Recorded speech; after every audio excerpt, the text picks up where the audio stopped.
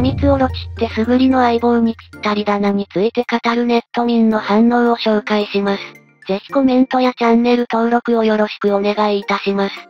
多様なチュ図鑑とかで当たり前にソトッツとカオロチユとか言い出すから種族名とは別に故障があるんだって驚くオロチユが足りないカミツオロチがいる可能性もあるのでは進化させただけなのにどこからそんなに生えてきたんだよってなるダグトリオとかレアコイルとかにもそれは言えるからな。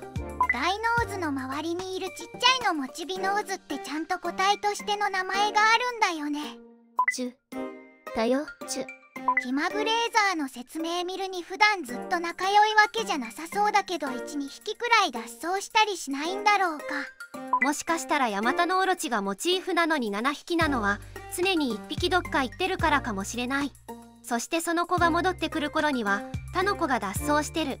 トレーナーが8匹目説。すぐりがあからさまにヘビモチーフ入ってそうだからその説だとエモいよね。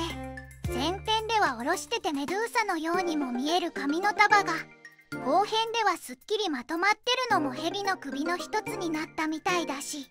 まるまるちとかいちいちなんか可愛い感じの名前がついてるせいで修羅とかしたすぐりが切り札にしててもあんま怖い感じがしない。名前はまがまがしさと神々しさの両取りみたいな美味しいやつなのに。カミツオロチの専用技が気まぐれーザーとかいうこれまた気が抜ける名前で効果も当時のすぐりが嫌いそうな運要素強めなのもちょっと面白いのであった。教頭でも水飴ボムとかいうこれまた可愛いネーミングの技出してくるから面白いよな性能的には全然好みじゃないのに主人公とお祭り回ったことを思い出してパーティから外せなかったとかだと色々たぎる。ネーミングも間抜けさのデザインもストーリーの入り込み方もうまいからすごい好き。チュ気まぐれでごめん。たまにしか本気出さなくてごめん。本気出されまくってすぐりに負けそうになったやつは以外にもおるやろ。それはそうと顔出し外使わいいねソトッチとナカッチでちょこっと個性出してきたなと思ったら怒涛のオロチユで吹き出した。カジッチュカミッツからずっとソトッチュナカッチュオロチユってチュが続いてるの可愛すぎる。カミツオロチの進化方法がドラゴンエールを覚えるだから。あんな狭い過密の中で応援し合って生活してる感出ててすごく好き。あと過密オロチのドラゴンエールの時全員が出てきてエール送ってくれるのいい。こいつ可愛くて好き。いい感じに愛嬌ある見た目とやたらたくさんの意味がかけられた。たくさんミーニングのネーミングと気まぐれーザーとかいう運ゲーロマン技が俺を狂わせる。なんでカミッチはソトッチュとナカッチュってべっこに名前あるのに。カミツオロチはみんなオロチユなんだよ気まぐれで外にいたり中にいたりするからだぞ。知らんけど。カミツオロチとか名前だけならパラドックスみたいなのにお出しされたのは間抜け顔の7匹のオロチユと気まぐれーザー運まで味方につけてずるいよな。俺だってこの手で勝利を手繰り寄せてんだ。カミツオロチは本気を出した。カミツオロチは本気を出した。ちゅぐり。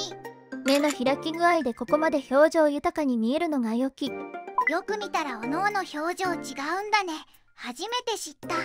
イキリチャンプ時代にみんなの前でカミツオロチってしたかんだことあると思う。特に頑張らないオロチユはすぐりに裏でカキツバタって呼ばれてる。そもそも3割の確率でやる気を出してくれるのならオロチユの中にカキツバタは存在しない説。カキツバタオロチユと反省会するすぐり今日のバトルで1回もやる気でなかったべそういう日があっても仕方ねけどいつかカキツバタになっちまうからな。たまたま見てたカキツバタ。真ん中のオロチユの角についてるリンボ好きかわいい。司令塔の証なんだ。かっこいいだろう。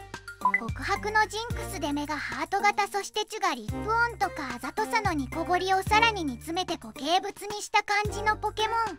ポケモンらしさも兼ね備えつつネーミングからはザのお茶目さも含め全体的にかなりハイセンス。オロチユのメモクリップとか欲しいな。こじらせて攻撃的になるもエースからしてあざとさが抜けないすぐり。説明見る限り気まぐれーザーって全員がやる気出した時だけ威力2倍になるんでしょう。闇すぐりくんがやる気ないならみたいなことを言ってる真横でオロチユキミががっつりサボってるんですけど。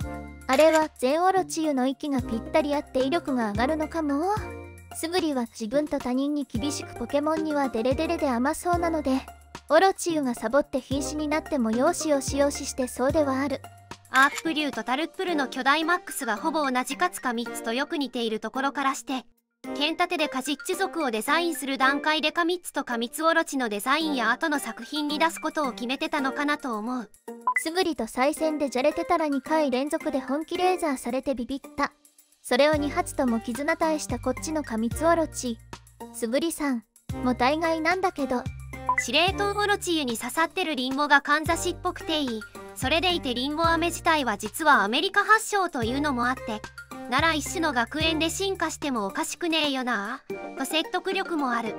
色違い黄色でとても可愛い。水飴ボムのエフェクトも黄色になってるの嬉しい海外版だとヒュドラ系の扱いなのもあって露骨にそういう感じしないけど名前や使ってるトレーナーからしてがっつりはモチーフなのよいなって。34番手だからこそのネタだと思うけど聖書の知恵の満たすヘビっぽい組み合わせに日本神話のヤマタノオロチ合わせるのなん食べてたら思い浮かぶんだろう。色違いは黄金のリンゴなのいいな。黄金のリンゴも神話ネタ絡められて美味しいよね。チュ弱そう。これほんと可愛いし誘拐したい。リンゴの詰まった段ボール内へ放り込んで監禁飼育したい。もしもしジュンサーさん。ヤミスグリが水飴ボム。とか気まぐれーザーとか言ってたらそれだけでもう笑っちゃうよ。青森の方言で「気まぐ」は「怒る」みたいな意味らしいからそっちにもかかってる説があったりする。リンゴが試食のドラゴン。かわいいとかほんまこいつらあざとい。アップ竜も閉じるとリンゴの形とかタルップルはアップルパイだとかあげくにリンゴ飴だしオロチユとかなんなん。可愛さ売りにしたならもっとグッズ作れよ。コラボカフェ待ったなし。コラボカフェするならこれ出してくれ。用途値段は見なかったことにするから。隊列は兵長と兵で分かれているけどオロチユはメイン個体らしき子もその他もオロチユなんだねカジッチュ族は見た目全部変わるのに全員リンゴだって言われれば伝わるデザインほんとかわいい。果実だからカジッチユリージョンフォルムで他のフルーツでできても好きになれる自信ある。ドラゴンエールを自力で覚えるわけでなく人工物技マシンで進化する当たり突然変異感ある。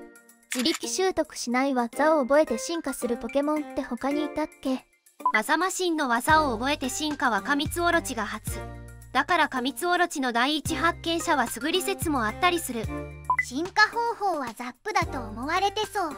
こんな方法あったらポケモン界の学会誌乗るだろう。すぐりのケタバとオロチユの数って同じだよね。カジッチユ進化系が集合したグッズ出たら嬉しい。リンゴモチーフだからどう考えても可愛く仕上がる。ご視聴ありがとうございました。チャンネル登録、高評価、よろしくお願いします。